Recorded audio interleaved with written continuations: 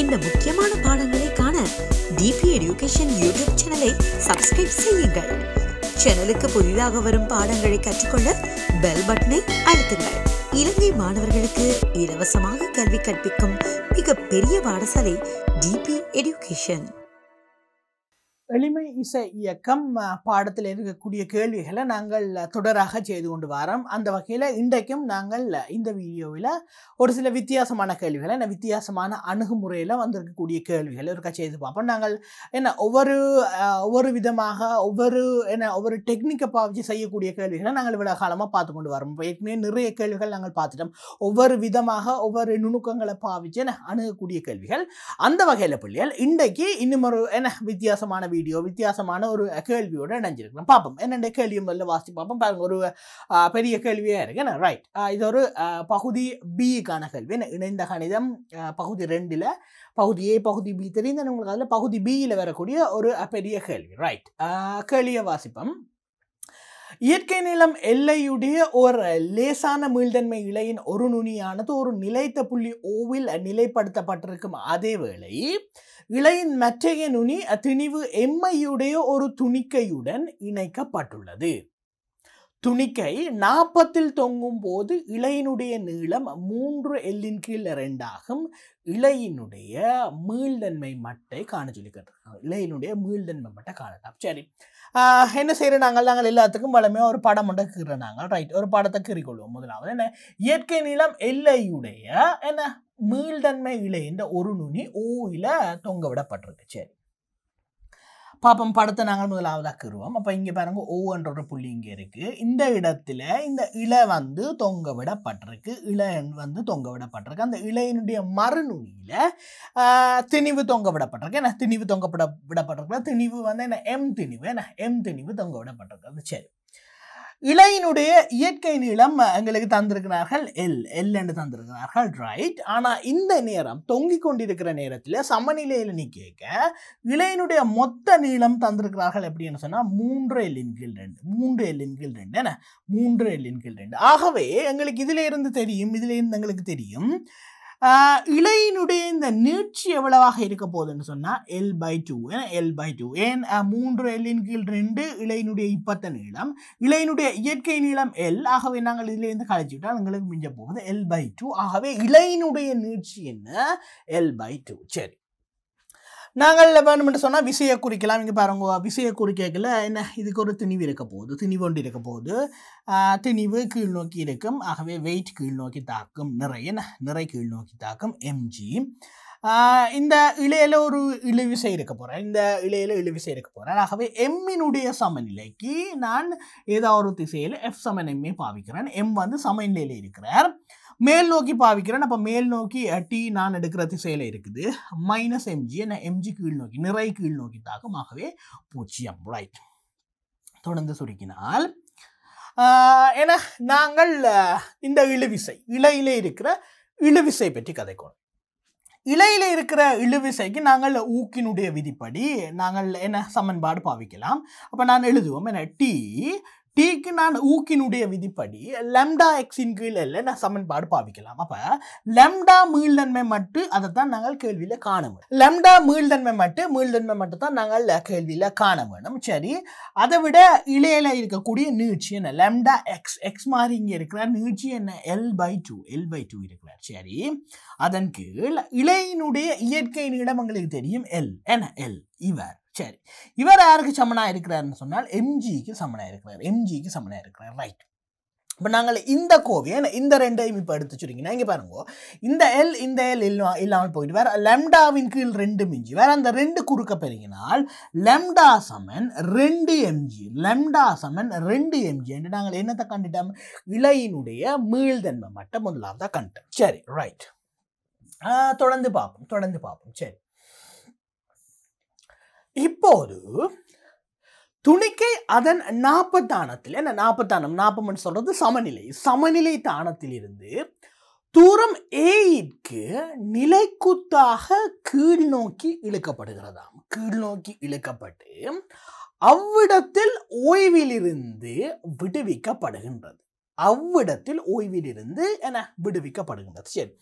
படத்தை குறித்து கொள்வோம் என்னென்னா இப்போ இந்த இடத்துல துணிக்க சமநிலையில் நிற்கிது சமநிலையில் நிற்கிது என்ன நடக்க போகுதுன்னா இந்த சமநிலை தாளத்தில் இருந்து ஏ என்ற ஒரு தூரம் இந்த துணிக்கு என்ன செய்யுது கீழ் நோக்கி இழுக்கப்பட்டு கீழ் நோக்கி இழுக்கப்பட்டு அந்த நேரம் விடுவிக்கப்படுது. அந்த நேரம் விடுவிக்கப்படுது. சரி நாங்கள் இது ஒருக்கா படத்தில் தெளிவாக கறிக்கொள்ளும் அப்படி இங்கே பாருங்க ரைட் இங்கே நான் இது ஒரு நீளமான தளமாக எடுத்துக்கொள்ளலாம் நீங்கள் பாருங்க ஓ ஆரம்பத்தில் இங்கே இருக்குது இட இப்படி தொங்குறார் இப்படி தொங்குறார். அதனுடைய இயற்கை நீளம் எல் தெரியும்.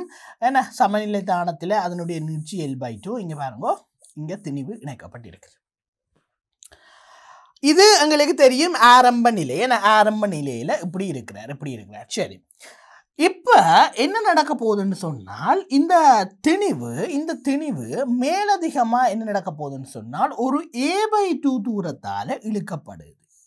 அப்போ மேலதிகமாக ஏ பை டூ இல்லை ஏ என்ன? ஏ என்ற தூரம் சாரி ஏ என்ற தூரத்தால் மேலதிகமாக இழுக்கப்பட்டு சமநிலையிலிருந்து விடப்படுது சமநிலை தானம் எல் எல் பை டூ என்ன? இதுதான் சமநிலை தானம் இந்த தானத்தில் இருந்து ஏ தூரம் கீழ் நோக்கி இழுக்கப்பட்டு விடுவிக்கப்படுது. சரி பாருங்க கேள்வியை தொடர்ந்து பார்ப்போம் கேள்வியை தொடர்ந்து பார்ப்போம். நேரம் டீயில் நேரம் டீயில் நாற்பத்தானத்திலிருந்து கீழ் நோக்கி அளக்கப்பட்ட துணிக்கையின் இடப்பெயர்ச்சி. அப்போ நாற்பத்தானம் என்றால் இது எங்களுக்கு தெரியும்? நாற்பத்தானம் எங்களுக்கு தெரியும். இவர் தான் எங்களுடைய நாற்பத்தானம் நேரம் டீயில் இந்த நாற்பத்தானத்திலிருந்து அளக்கப்பட்ட கீழ் நோக்கி அளக்கப்பட்ட துணிக்கையினுடைய இடப்பெயர்ச்சி என்னவாக இருக்க போதாம்? எக்ஸாக இருக்க போதாம். அப்போ நாங்கள் என்ன செய்வோம்? அதுக்கு வேணுமெண்டா ஒரு இன்னொரு படத்தை வடிவாக்கறி கொள்வோம். பாருங்க ரைட் அப்போ துணிக்கை இப்படி இருக்கிறார்? இப்படி இருக்க போகிறார் இது இயற்கை நீளம் என்ன இந்த இயற்கை நீளம். இது என்ன? ஆரம்ப நாற்பத்தானம் ஆரம்ப நாற்பத்தானம் சரி. ஏ தூரத்துக்கு இழுத்து போட்டு இந்த இலையை இழுத்து போட்டு விட்டால் என்ன நடக்க இந்த இலை ஏன்னா இந்த இலையில் இருக்கிற இந்த திணிவு மேல் நோக்கி இயங்குவார் மேல் நோக்கி இயங்குவார் மேல் நோக்கி இயங்க போகிறார் சரி ஏன்? இந்த இலை வந்து மீளுந்தன்மை கொண்ட இலை அந்த இலையை நாங்கள் இயற்கை நிலத்தை தாண்டி இழுத்துட்டு விடைக்க அது தன்னுடைய மீள்தன்மை அந்த ஏரியாக்கு மீள்தன்மை ரேஞ்சுக்குள்ள திரும்பவும் தன்னுடைய பழைய இடத்தை ஏன்னா தன்னுடைய பழைய நீளத்தை அடைவதற்காக அவர் திருப்ப மேல் நோக்கி அசைவார். அதாவது இலை மீளுந்தன்மை கொண்ட இலை தன்னுடைய பழைய இயற்கை நீளத்தை அடைகிறதுக்கு முயற்சிக்கும். சரி. அப்போ இந்த தெளிவு என்ன செய்ய போறார்? இப்போ மேல் நோக்கி இயங்க போறார். மேல் நோக்கி இயங்க போறார். சரி. இயங்குறாருன்னு சொன்னால் இப்படி இருக்கு. அப்போ இப்போ இந்த இடத்துல என்னத்தை கதைக்கிறோம்னு சொன்னால் நீங்கள் பாருங்கோ நாற்பத்தானம் நாற்பத்தானம்ன்றது ஆரம்பத்தில் வந்து இந்த இடத்துல தான் நாற்பத்தில் ஏன்னா சமநிலையிலன்றது.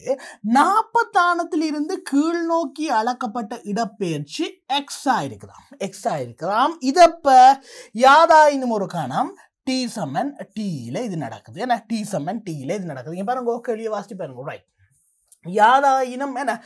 நேரம் டீயில் நாற்பத்தானத்திலிருந்து கீழ் நோக்கி இழக்கப்பட்ட துணிக்கையின் இடப்பெயர்ச்சி எக்ஸ் இலை இறுக்கமாக இருக்கும் வரைக்கும் இப்படி என காட்டு இப்படி என காட்டு. அதாவது இலை இறுக்கமாக இருக்கணும். ஏன்னா இலை இறுக்கமாக இருக்கிறத பற்றி கதைக்கிறோம். ரைட் இலை எப்போ வரைக்கும் இறுக்கமாக இருக்கும்? எப்போ வரைக்கும் இறுக்கமாக இருக்கும்? பாருங்க இலையினுடைய இயற்கை நீளத்தை இந்த துணிக்கு அடையிற வரைக்கும் அந்த இலை இறுக்கமாக இருக்கும்.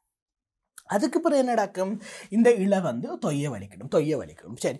அப்போ இலை இறுக்கமாக இருக்கிற கணம் எதுன்னு சொல்லி நாங்கள் முதலாவதாக அடையாளப்படுத்தணும். இந்த இந்த கணம் அதாவது நாங்கள் வேணும்னு சொன்னால் ஏதாவது ஒரு குறியீட்டில் குறிச்சிக்கொள்ளலாம். அப்படி இந்த புள்ளியை நான் இது ஓ எங்களுக்கு தெரியும். சரி இவர் ஒரு ஏ என்று வைக்கிறேன்.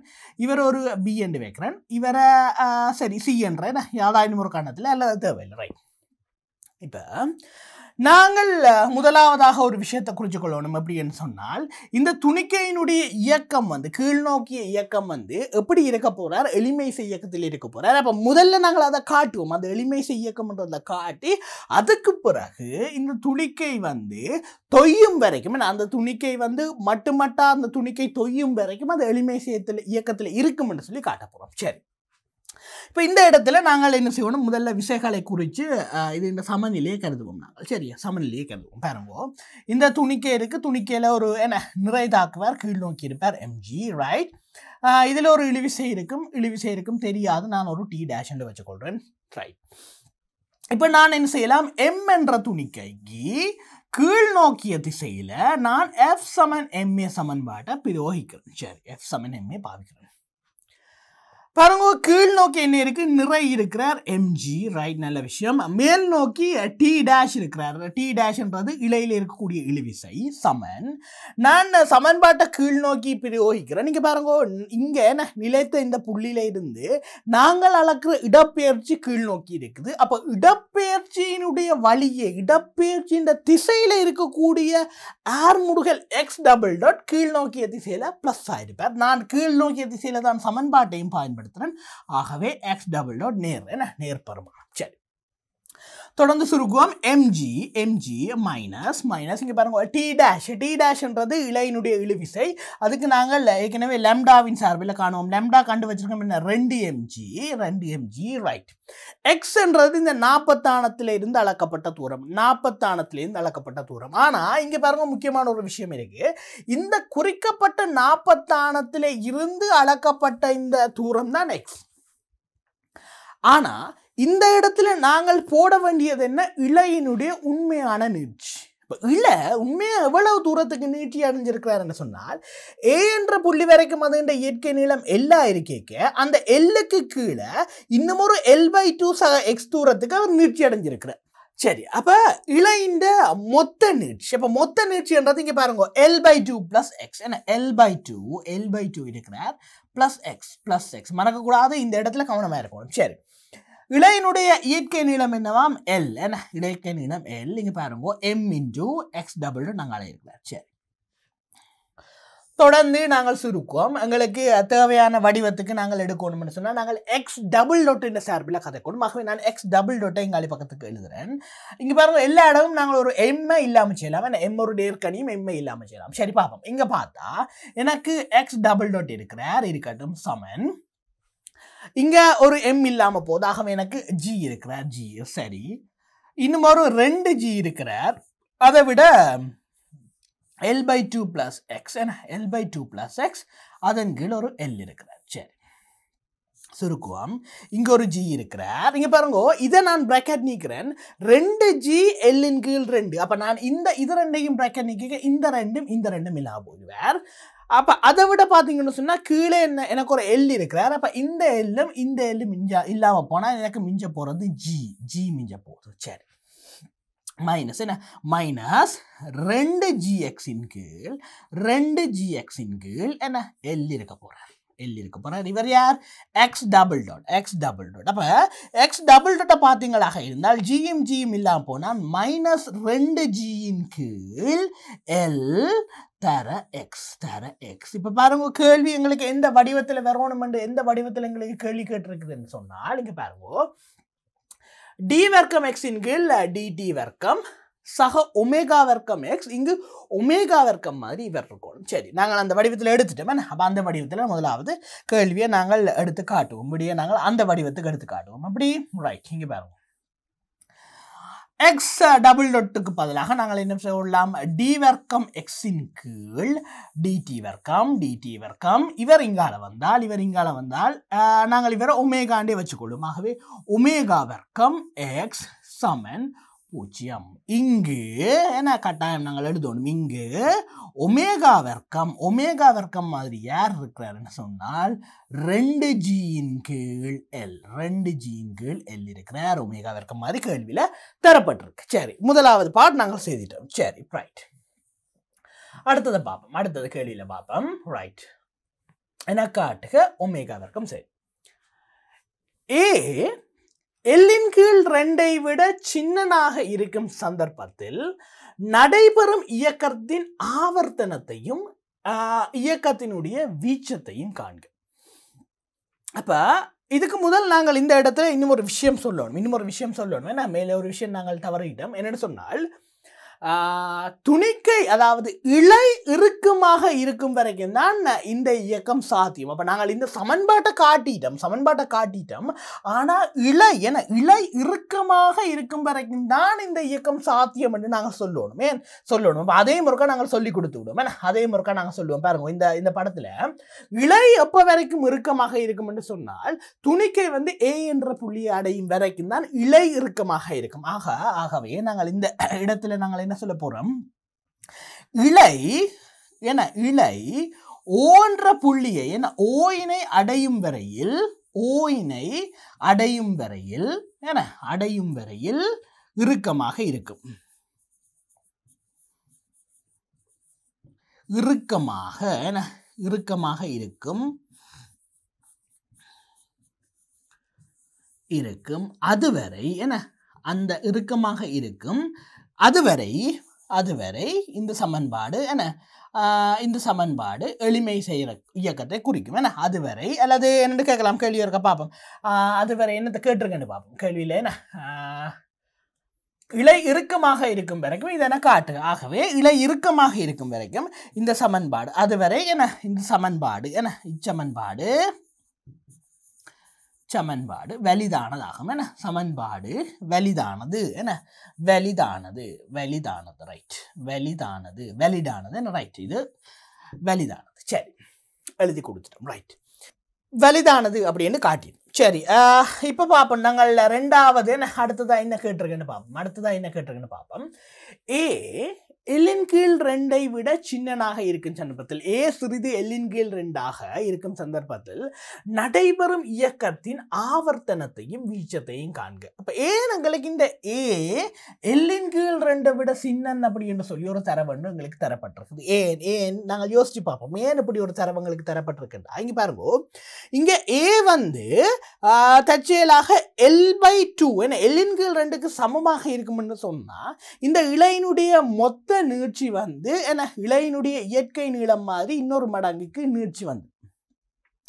இலையினுடைய இயற்கை நீளம் மாதிரி இன்னொரு மடங்குக்கு இந்த நீட்சி வந்துடும் அப்போ சில நேரங்களில் அந்த இடத்துல அந்த இடத்துல என்ன நடக்கலாம்? இலை வந்து அறலாம் அல்லது இலையில் வந்து வேறு ஏதாவது மாற்றங்கள் நடக்கலாம். இலை இல்லாமல் போகலாம் அல்லது அறுபடலாம். அப்போ அந்த சந்தேகம் அல்லது அந்த குழப்பங்களை நீக்கிறதுக்காக தான் எங்களுக்கு தெளிவாக சொல்லியிருக்கணும்.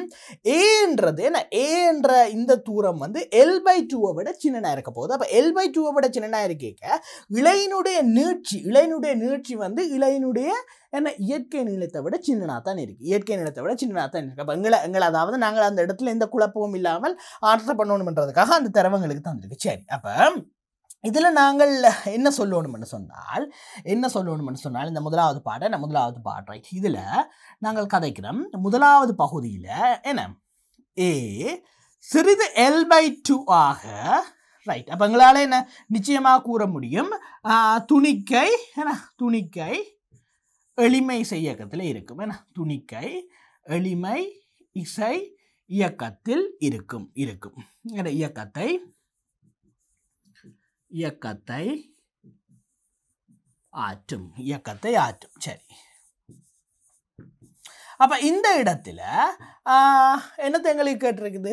ஆவர்த்தனத்தை கேட்டிருக்கு. ஏன்னா துணிக்கையினுடைய ஆவர்த்தனம். ஆவர்த்தனம்னு சொல்கிறது அலைவு காலத்தை கேட்டிருக்கு. ரைட் துணிக்கையினுடைய ஆவர்த்தனம். ஆவர்த்தனத்தை கேட்டிருக்கு. ரைட் அப்போ ஆவர்த்தனம் உங்களுக்கு என்ன தெரியும்? டி டி சமன் ரெண்டு பையின் கீழ் ரெண்டு பையின் கீழ் ஒமேகா. டி சமன் ரெண்டு பையின் கீழ் ஒமேகா. டி இதனுடைய என்ன?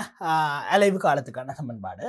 ரெண்டு பை ரெண்டு பை எங்களுக்கு தெரியும் ஒமேகா. என்ன? ஒமேகா. ஒமேகான்னு சொல்கிறது நாங்கள் ஏற்கனவே காண்டிட்டோம் ஒமேகா வர்க்கம் வந்து ரெண்டு ஜியின் கீழ் எல் ஆகவே ஒமேகா வந்து ஒமேகா வந்து வர்க்க மூலம் ரெண்டு ஜியின் கீழ் எல் ரெண்டு ஜியின் கீழ் எல் ஆகவே இதுல இருந்து நாங்கள் என்ன சொல்லிக் கொள்ளலாம்? பாருங்க. இந்த இந்த வர்க்கமூலம் ரெண்டை நான் மேலே கொண்டு வச்சு இருக்கிறேன் ஆகவே ஒரு பை வழியில் இருக்கிறார் பை வழியில் இருக்கிறார் அதை விட மேலே என்ன இருக்கிறார்? ஒரு வர்க்கமூலம் ரெண்டு இருக்கிறார் வர்க்கமூலம் ரெண்டு இருக்கிறார். அதை விட இந்த எல் மேலே போவார் இங்கே ஜி வருவார் ஜி வருவார் ரைட் சரி அடுத்ததா நாங்கள் துணிக்கேன வீச்சத்தை பற்றி கேட்டிருக்கோம். வீச்சத்தை பற்றி கதைக்கும் முதல் நாங்கள் என்னத்தை பற்றி நோமலா கண்டுபிடிக்கணும் நாங்கள் சொன்னால் எளிமை இசை இயக்கத்தில் இருக்கக்கூடிய அதனுடைய அலைவு மையம். ரைட் அப்போ அலைவு மையம் அலைவு மையம் எந்த இடத்துல புறப்படும்? எங்களுக்கு சாதாரணமாக தெரியும் அலைவு மையம் வந்து எப்போதுமே எக்ஸமன் பூஜ்ஜியமாக இருக்கிற இடத்துல அலைவு மையம் பெறப்படும். அப்போ எக்ஸ் பூஜ்ஜியமாக இருக்கையில் அலைவு மையம் பெறப்படும். அப்போ அதே மாதிரி எழுதி கொள்ளும் நாங்கள். சரியா? எக்ஸ் பூஜ்ஜியமாக ஆக என்ன? அலைவு மையம் அலைவு மையம் பெறப்படும். அலைவு மையம் பரப்படம். ரைட் பரப்படம். எக்ஸமன் பூஜ்ஜியம் அப்போ இங்கே பாருங்க படத்தில் பார்ப்போம் எக்ஸமன் பூஜ்ஜியம்ன்றது எந்த புள்ளி? எக்ஸமன் பூஜ்ஜியம்ன்றது இந்த புள்ளி. ஆ எக்ஸ் வந்து அதனுடைய ஆரம்ப நாற்பத்தானத்திலிருந்து அளக்கப்பட்டிருக்கிறது. எக்ஸ் பூஜ்ஜியமாக அலைவு மையம் வருது. எக்ஸமன் பூஜ்ஜியமாக அலைவு மையம் வருது. அப்போ உங்களுக்கு தெரியும் இந்த இடத்துல இருந்து துணிக்கு ஆரம்பத்தில் எவ்வளவு தூரத்துக்கு ஈர்க்கப்பட்டது? ஏ என்ற தூரத்துக்கு ஈர்க்கப்பட்டது. ஆகவே இந்த இடத்துல இருந்து துணிக்கையினுடைய வீச்சம் அப்படி இருக்கும்னு சொன்னால் ஏ என்ன? ஏ அப்போ விளங்குதா? இந்த இடத்துல இந்த நாங்கள் எப்பயுமே வீச்சத்தை பற்றி கதைக்க அலைவு மையத்தை பற்றி கதைப்போம். அலைவு மையத்தில் இருந்து துணிக்கை அடைஞ்ச அதிகபட்ச தூரம் வீச்சம். ரைட் வீச்சத்தை நாங்கள் குறிப்போம். ஆகவே வீச்சம் என்னவாக இருக்க போகுது? வீச்சம் எனவே ஆகவே வீச்சம் என்ன? வீச்சம் சமன் ஏ ஆக இருக்கும். ஏ ஆக இருக்கும். சரி. முதலாவது பாட் சரி என்ன? முதலாவது பாட் சரி. ரைட் ரெண்டாவது பாட்டு பாருங்க. ரெண்டாவது பாட் என்ன கேட்டிருக்கு? ரைட் ஏ சமன் எல்லின் கீழ் ரெண்டு சகபி. ஏன்னா ஏ சமன் எல்லின் கீழ் ரெண்டு சகபி. ஆக இருக்கும் சந்தர்ப்பத்தில் இலை முதலில் தளர்வதற்கு எடுக்கும் நேரம் அப்படி என காட்டலாம். சரி. ஏ வந்து இப்படி ஒரு என்ன இப்படி ஒரு தொடர்பில் தந்திருக்கு அதாவது ஏ ஏன்னு சொல்கிறது நாற்பத்தானம் சமநிலை தானத்திலிருந்து துணிக்கை கீழ் நோக்கி இழுக்கப்பட்ட தூரம். அது எல்லின் கீழ் ரெண்டு சக பி ஆக இருக்கும் சந்தர்ப்பத்தில். இங்கே பி வந்து என்ன பூஜ்ஜியத்தை விட பெருசாம். சரி. இலை முதலில் தளர்வதற்கு எடுக்கும் நேரம் அப்படின்னு காட்டணும் சரி இங்கே பாருங்கோ இங்கே பாருங்கோ ரைட் என்ன இந்த இடத்துல வந்து இந்த ஏக்கு ஒரு தரம் ஒன்று தந்திருக்கு. என்ன? ஏ எல்லின் கீழ் ரெண்டு சகபி ஏ வந்து எல்லின் கீழ் ரெண்டு சகபி என்ற தூரத்தால என்ன? இருக்கும் சந்தர்ப்பத்தில் இலை முதலில் தளர்வதற்கு எடுக்கும் நேரம். இப்போ இந்த இலை எந்த இடத்துல தளர போகுது எந்த இடத்துல இந்த இலை தளர போகுது இந்த இலை எங்கே தளரும்னு சொன்னால் இங்கே பாருங்க ஆரம்பத்தில் இந்த இலை வந்து இந்த இடத்துல இருந்து இந்த இடத்துல இருந்து ஏன்னா இந்த இடத்துல இருந்து விடுவிக்கப்படுது விடுவிக்கப்படைக்க இந்த இலை இப்படியே மேல் நோக்கி அசைஞ்சு அசைஞ்சு அசைஞ்சு நாங்கள் ஏற்கனவே பார்த்துறாங்க என்ன? இலை அதாவது இந்த இலையினுடைய இயற்கை நீளம் ஏன்ற புள்ளியை அடையக்க இலை தளரும் இலை முதல் முதலில் தளரும். ஆக நாங்கள் இப்போ என்னத்தை காண வேண்டி இருக்குன்னு சொன்னால் இந்த துணிக்கைக்கு இந்த துணிக்கைக்கு ஏ இப்படியாக இருக்க என்ன இவ்வளவு நேரத்துக்கு பிறகு இந்த இலை தளரும் தளரும் என்று காட்டும் சரி. கீழே பாருங்க பிள்ளைகள் இந்த பிராக்கெட்டுக்குள்ள ஒரு விஷயம் தந்திருக்கேன் நாங்கள் பாவிக்கையில் இந்த விஷயத்தை சமன்பாடு டி வர்க்கம் எக்ஸின் கீழ் டிடி வர்க்கம் சக ஒமேகா வர்க்கம் எக்ஸமன் பூஜ்ஜியத்தினுடைய தீர்வு எக்ஸமன் a cos omega t plus b sine omega t என கொள்ளலாம். இங்கு ஏக்கம பி ஆகினா துணியப்பட வேண்டிய ரெண்டு மாறிலிகள். ரைட் இது எங்களுக்கு தெரிஞ்ச விஷயம். என்ன இது ஒரு புது விஷயம் இல்லை. எங்களுக்கு தெரிஞ்ச விஷயம். இருந்தாலும் அவன் வந்து என்ன எங்களுக்கு ஒரு உதாரணத்துக்கு என்ன எங்களை வந்து இதை இலகுவாக்குறதுக்கு இந்த விஷயத்தை தந்திருக்கேன். என்ன இது உண்மையாக என்ன? எக்ஸமன் cos omega plus plus b sine omega என்றது எளிமை செய்ய கத்தின் என்ன? எளிமை செய்ய கத்தின் ஒரு பொது தீர்வுக்கான சமன்பாடு. சரி. அப்போ அவ ஏன் தந்திருக்கணும் இந்த விஷயத்தை தெரியணுமெண்டா அதை எங்கேயோ ஒரு இடத்துல நாங்கள் பாவிக்க வேணும்னு தானே தந்திருக்கணும் சரி அதை நாங்கள் பாவிப்போம் அதை நாங்கள் பாவிப்போம் அப்போ இப்போ எங்களுக்கு எக்ஸை பற்றி கதைக்கலாம் எக்ஸ் என்று சொல்கிறது என்ன இடப்பெயர்ச்சி ஏ பி மாறிலிகள் இங்கே கொஸ் ஒமேகா ஒமேகா எங்களுக்கு தெரியும் என்ன டீன்ற சார்பில் சரி நாங்கள் இப்போ கதைப்போம் கதைப்போம் பிள்ளையா ரைட் இப்போ பாருங்க அதுக்கு முதல் நான் சமன்பாட்டை எழுதி கொள்கிறேன் சமன்பாட்டை எழுதி கொள்கிறேன் எக்ஸ் என்ன எக்ஸ் சமன் x සමන් a cos omega t plus b sin omega t b sin omega t. ശരി. സമൻ പാട്ട് എഴുതിയിട്ട് நாங்கள் ஏற்கனவே இப்படியான கேள்விகள் பார்த்துருக்கிறோம். இப்படி ஒரு சமன்பாடு எங்களுக்கு தரப்பட்டிருக்குமாக இருந்தால் இந்த சமன்பாட்டில் போய் குறிக்கப்பட்ட நேரம் டீக்கு அதுக்கான இடப்பெயர்ச்சி எக்ஸை நாங்கள் என்ன செய்வோம்? பிரதியீடு செய்வோம். இதான் ஒரே வழி. என்ன இந்த சமன்பாடை தீர்க்கிறதுக்கு எங்களுக்கு தெரிஞ்ச கணியங்களை என்ன? எக்ஸ்லையும் டீலையும் வேணும். அப்போ அதை நாங்கள் எடுத்தால் தான் ஏஐயும் பிஏயும் மாறிலிகளை நாங்கள் கொண்டு கொள்ளலாம் சரி பார்ப்போம். ஆரம்பத்தில் ஆரம்பத்தில் நாங்கள் பார்த்துருந்தாங்களே நான் பார்த்துருந்தாங்க இங்கே பாருங்க துணிக்கையினுடைய இடப்பெயர்ச்சி வந்து ஏஆ இருக்குது. என்ன? நாற்பத்தானத்துலேருந்து ஏ தூரத்துக்கு இழுக்கப்பட்டு விடுவிக்கப்படுது. அப்போ இந்த துணிக்க விடுவிக்கப்படுற இந்த தருணம் இருக்குத்தானே துணிக்க விடுப விடுவிக்கப்படுற அந்த தருணத்தை நான் டி சமன் பூஜ்ஜியம் என்று எடுத்துக்கொள்வேன். என்று தேவைக்காக? டி சமன் பூஜ்ஜியமாவது கணத்தில் இந்த துணிக்க விடுவிக்கப்படுக டி சமன் டி என்ற நேரத்தில் தான் அதனுடைய இடப்பெயர்ச்சி இந்த இடத்துல இருந்து எக்ஸ்டெண்ட் அளக்கப்பட்டிருக்கு அப்போ இந்த நேரத்தை நான் டி சமன் பூஜ்ஜியம் என்று எடுத்துக்கொள்கிறேன் ஏன்னா ஏன்னா எந்த கணக்குக்கு ஏற்ற மாதிரி எந்த தேவைக்கு ஏற்ற மாதிரி நான் மாற்றிக்கொள்கிறேன் அப்போ டி சமன் பூஜ்ஜியமாக இதனுடைய இடப்பெயர்ச்சி எக்ஸ் எக்ஸ் என்னவாக இருக்க போகுது? ஏ ஆக இருக்க போகுது. ரைட் அப்போ அதை ஒருக்கா எழுதுவோம் என்ன அது ஒருக்கா எழுதி கொள்வோம் ரைட் இங்கே பாருங்க. டி டி சமன் பூஜ்ஜியமாக பூஜ்ஜியமாக இடப்பெயர்ச்சி எக்ஸ் எண்ணத்துக்கு சமனாக இருக்க போறாருன்னு சொன்னால் ஏக்கு சமனாக இருக்க போறார் ஏக்கு சமனாக இருக்க போறார். ஆனால் ஏக்கு எங்களுக்கு என்ன? ஒரு கண்டிஷன் தந்திருக்கு. ஏ சமன் எல்லின் கீழ் ரெண்டு சகபி எல்லின் கீழ் ரெண்டு சகபி ஆகும். என்ன இதுக்கு தரவில் தந்திருக்கு. என்ன எக்ஸ் ஏ சமன் எல்லின் கீழ் ரெண்டு சகபி ஆகும். சரி.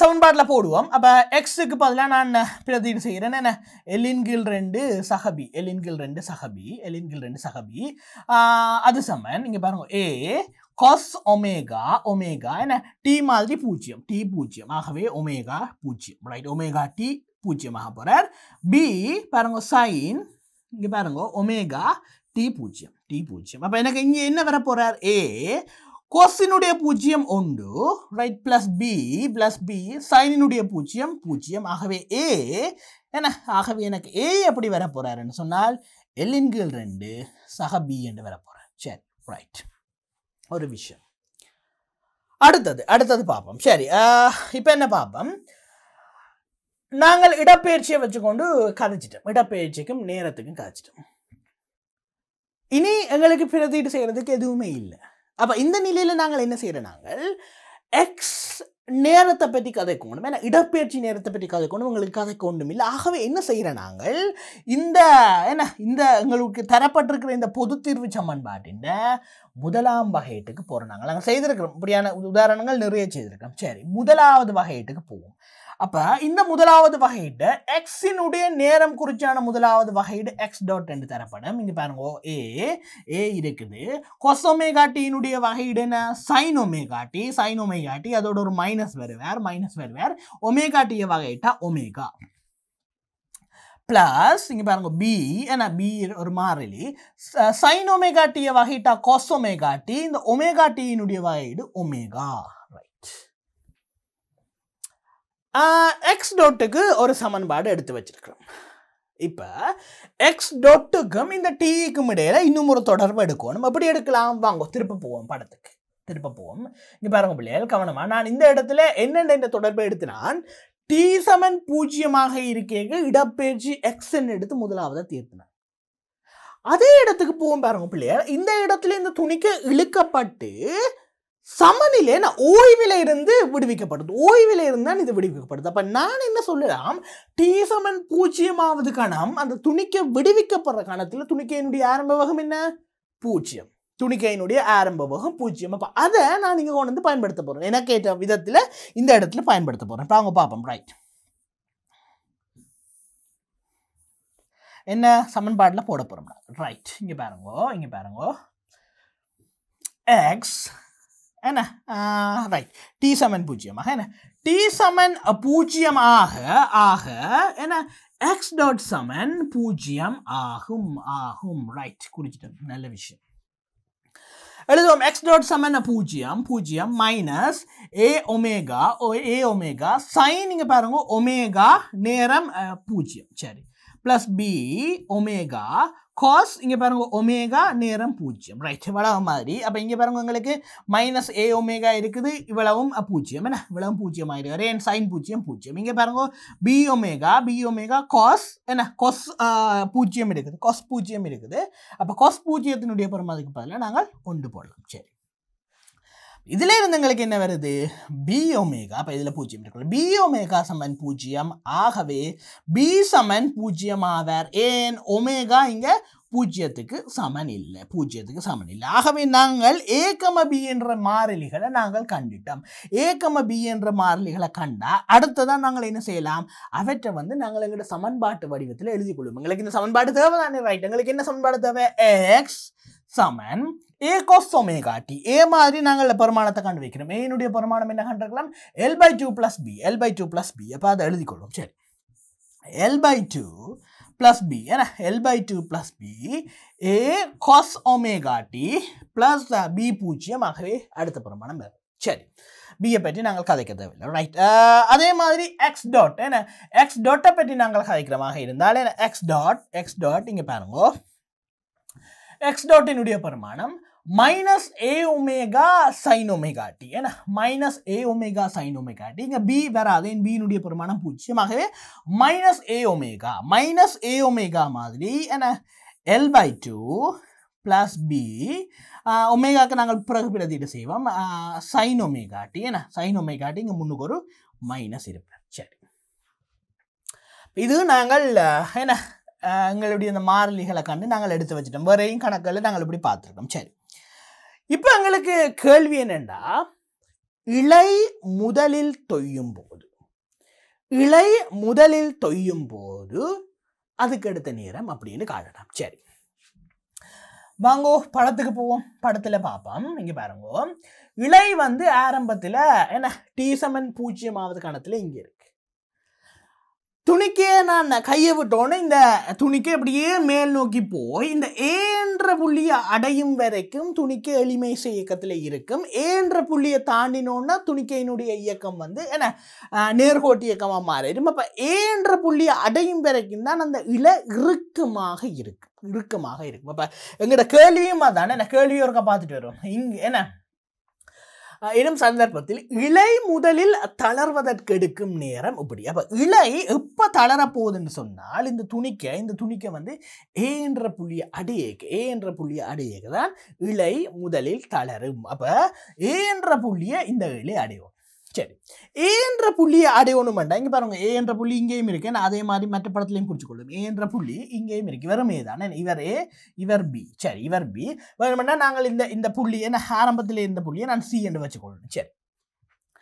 அப்போ இந்த துணிக்க வந்து சீல இருந்து மேல் நோக்கி இயங்கிக்க ஏ அடையும் போது இலை முழு முதலில் தளரும். அப்போ அது அது அவ்வளவு நேரத்துக்கும் அதை எடுத்த தூரம். அது எவ்வளவு தூரம் பயணிச்சிருக்கீங்க பாருங்க. ஏ என்ற தூரத்துக்கு பயணிச்சிருக்கும். என்ன? CB CB plus BA BA l by two ஆகவே துணிக்கை வந்து சியிலிருந்து ஏ நோக்கி போகும்போது ஏயில் முதலில் தளர்வடையும். அப்போ அதற்கா நாங்கள் எழுதணும். என்ன? அதற்கா வடிவாக எழுதி கொள்ளும். அப்போ நாங்கள் படத்தில் தெளிவாக குறிச்சிருக்கிறபடியே படத்தை வச்சுக்கொண்டு எழுதுவோம். ஒரு பிரச்சனையும் இல்லை. என்ன? துணிக்கை. என்ன? துணிக்கை.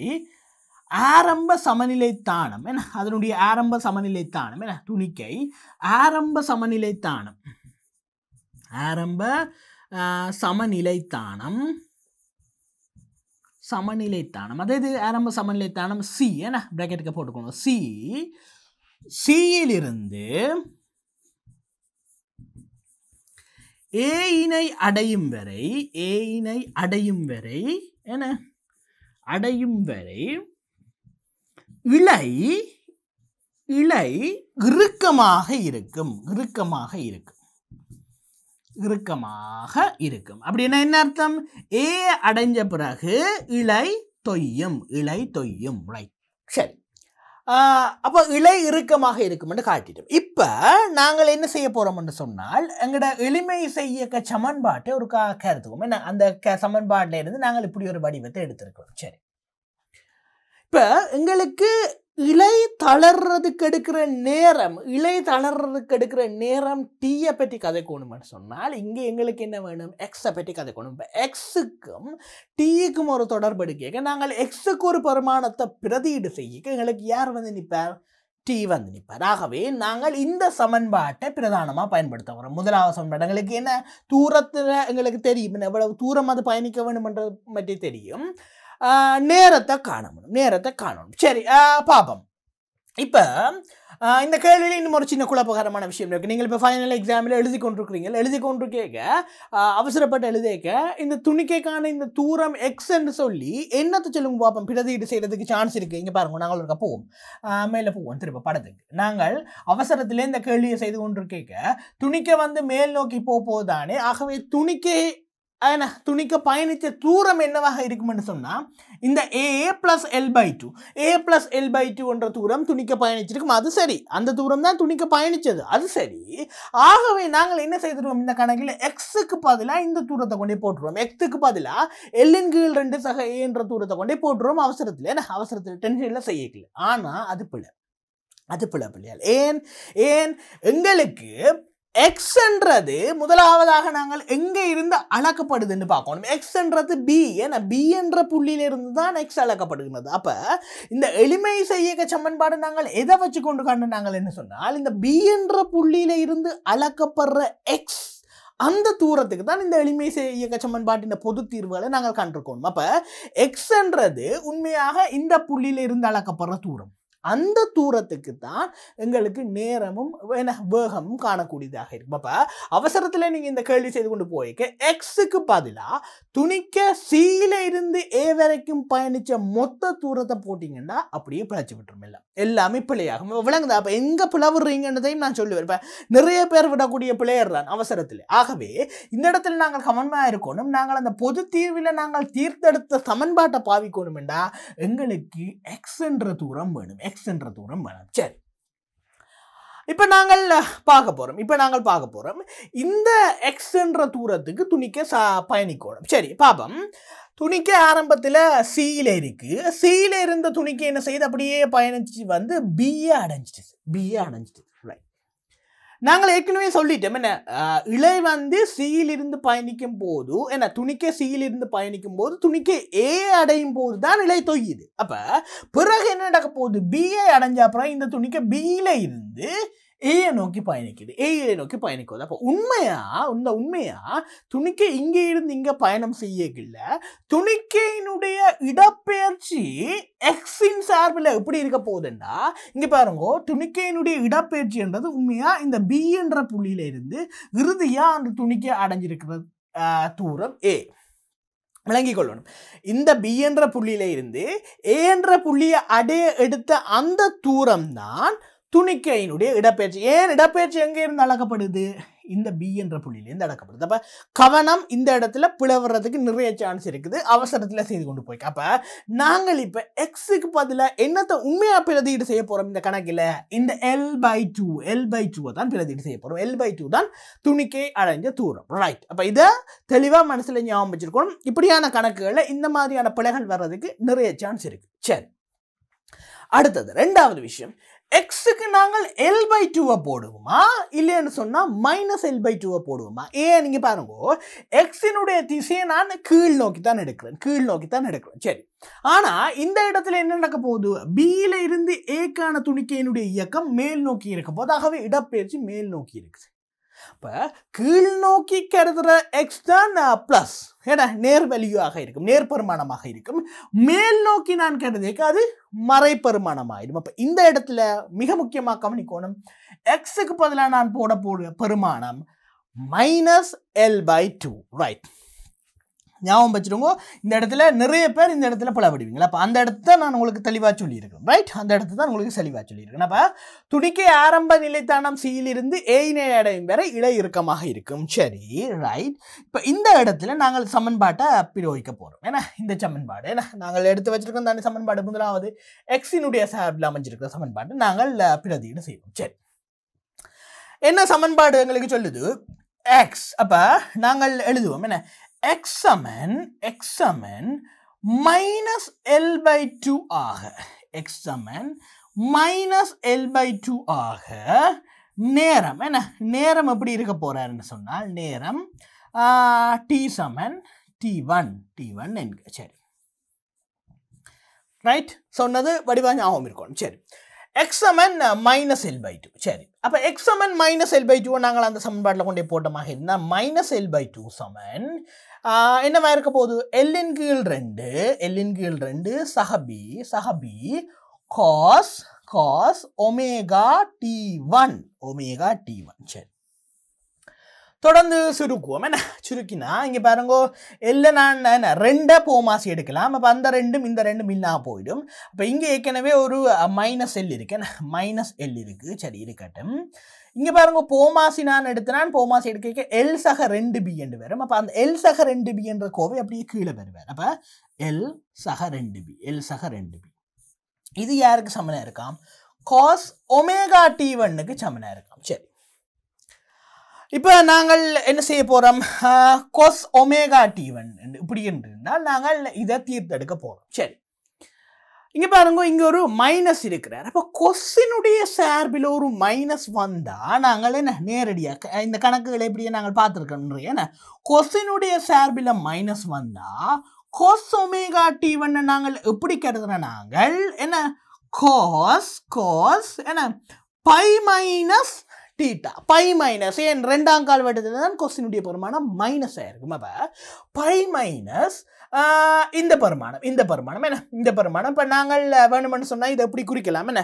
இதை ஒரு அல்ஃபா அப்படின்னு வச்சுக்கொண்டால் பை மைனஸ் அல்ஃபா அல்ஃபாண்டு வரும். பை மைனஸ் அல்ஃபா ரைட் இப்போ நான் வேணும்னு சொன்னால் பை மைனஸ் அல்ஃபா இப்போ இங்கு இங்கு என்ன? இங்கு அல்ஃபா யாருன்னு சொன்னால் அல்ஃபா யாருன்னு சொன்னால் என்ன? கொஸ் இன்வர்ஸ் கொஸ் இன்வர்ஸ் என்ன? கொஸ்டினுடைய இன்வர்ஸ் எல்லின் கீழ் எல் சக ரெண்டு பி ஏன்னா எல் சக ரெண்டு பி. அப்போ இவரை இவரை நான் ஒரு கொஸ் அல்ஃபாண்டு வச்சு கொண்டேன்னா கொஸ் அல்ஃபாண்டு வச்சு கொண்டேன்னா என்ன? இவ்வளத்தையும் கொஸ் அல்ஃபாண்டு வச்சு கொண்டேன்னா அல்ஃபாவினுடைய பருமதி இப்படி வரப்போகுது. சரி நாங்கள் எங்களோட இலகுவுக்காக இப்படி எழுதியிருக்கோம். பாப்போம் கேள்வியில் என்ன வடிவத்தில் எங்களுக்கு இருக்குன்னு கேள்வியில் என்ன வடிவத்தில் இருக்குது அல்ஃபா தேவையா அல்லது தேவையில்லாட்டி விடலாம் அல்ஃபாவை சரி இந்த அல்ஃபாண்ட ஒரு துணிக்கு இது வந்து நாங்கள் வச்ச பெருமானம் தானே? ரைட் ரைட் அவ எல்லின் கீழ் எல் ப்ளஸ் ரெண்டு பி என்ற வடிவத்திலே இருக்குது சரி அப்போ நாங்கள் அதை பார்ப்போம் இப்போ அல்ஃபான்ற விஷயம் எங்களுக்கு தேவையில்லை. ஏன்னா அது தேவையில்லை. நாங்கள் அப்படி ஒன்று வைக்க தேவையில்லை. நாங்கள் எங்கள்ட இலகுவுக்காக தான் அதை வைக்கிறது.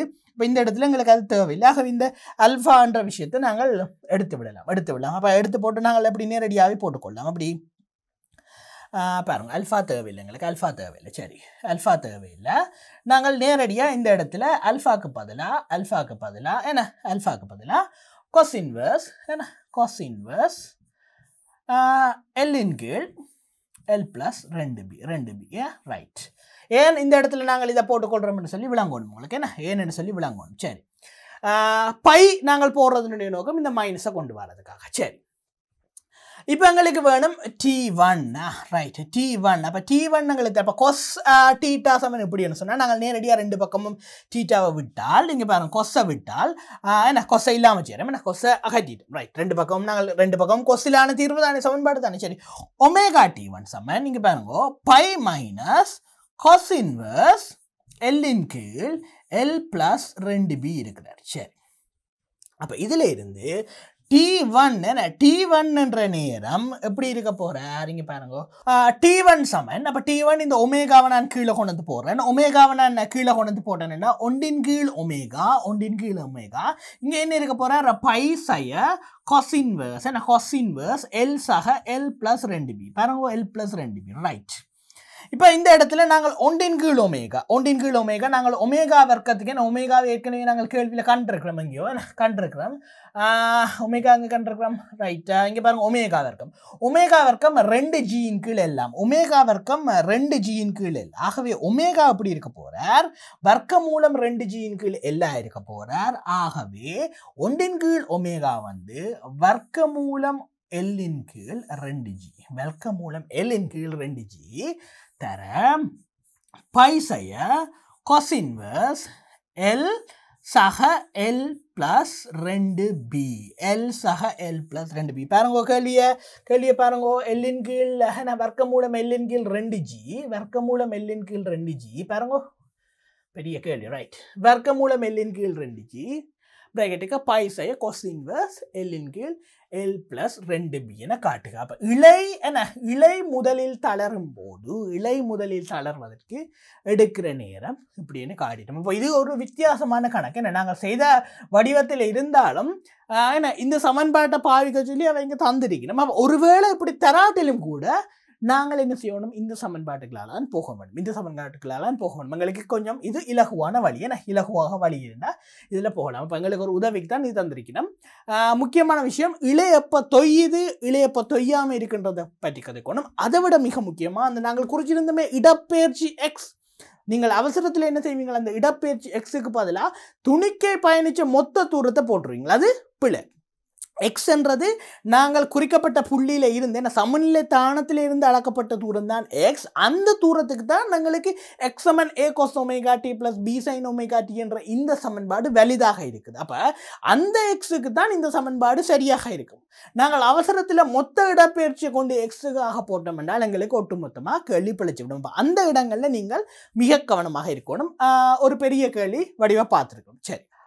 சரி. அப்போ இதே மாதிரி நாங்கள் என்ன ஒரு பெரிய கணக்கு செய்திருக்கோம். இதே மாதிரி தொடர்ந்தும் வார வீடியோக்களில் இன்னும் பல கணக்குகளை நாங்கள் தொடர்ந்து பார்ப்போம். சரி நன்றி. இந்த முக்கியமான பாடங்களை காண டிபி எடுகேஷன் யூடியூப் சேனலை சப்ஸ்கிரைப் செய்யுங்கள். சேனலுக்கு புதிதாக வரும் பாடங்களை கற்றுக்கொள்ள பெல் பட்டனை அழுத்துங்கள். இலங்கை மாணவர்களுக்கு இலவசமாக கல்வி கற்பிக்கும் மிகப்பெரிய பாடசாலை டிபி எடுகேஷன்